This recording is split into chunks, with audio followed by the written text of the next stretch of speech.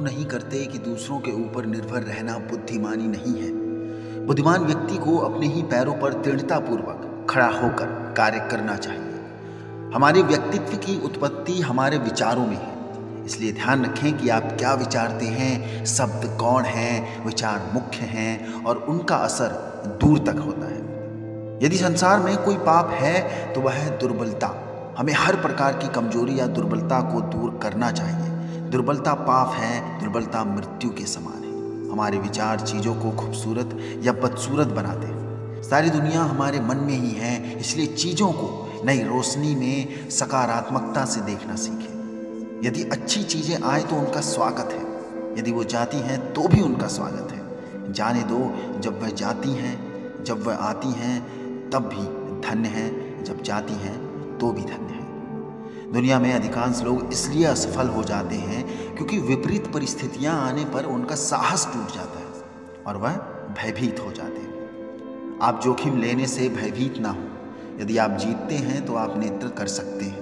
यदि हारते हैं तो आप दूसरों का मार्गदर्शन कर सकते हैं। जब तक मनुष्य के जीवन में सुख, दुख नहीं आएगा, तब तक मनुष्य को यह एहसास कैसे होगा कि जीवन में क्या सही है और क्या गलत है?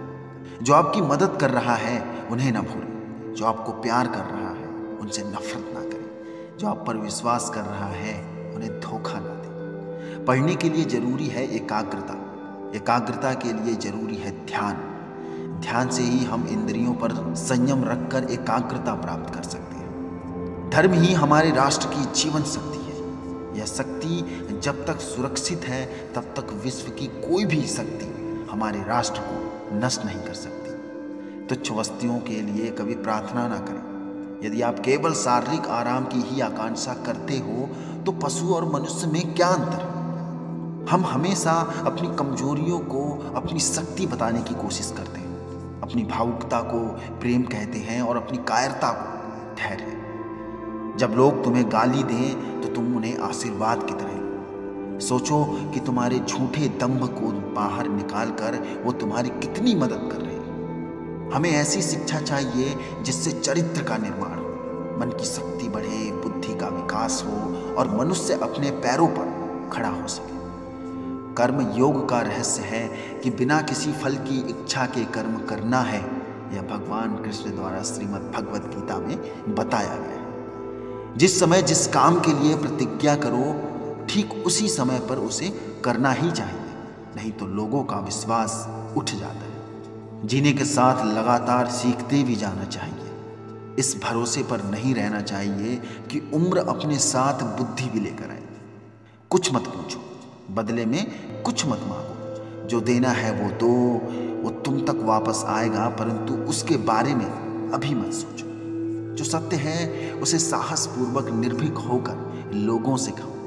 उससे किसी को कष्ट होता है या नहीं, इस पर ध्यान मत दो। बाकी यहाँ तक पहुँच गए हो तो उसका मतलब वीडियो आपको काफ़ी पसंद आया। आपसे निवेदन है कि अंगूठे वाला बटन दबा के इसे लाइक ज़रूर करें और कमेंट बॉक्स पर ज़रूर बता के जाना कि वीडियो आपको कैसी लगी।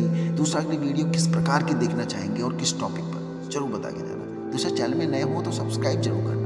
बाकी हँसते रहो, मुस्कुराते रहो और ऐसे ही हमारे चैनल पर मोटिवेशनल स्टोरीज ज़िंदगी बदलाव से संबंधित हाई पावर मोटिवेशनल वीडियो और प्रेरणादायी बातें और महान लोगों के अनमोल विचार सुनते रहें और अपने अंदर के मोटिवेशन को हमेशा जगाए रखें। मिलते हैं अगली वीडियो में। God bless you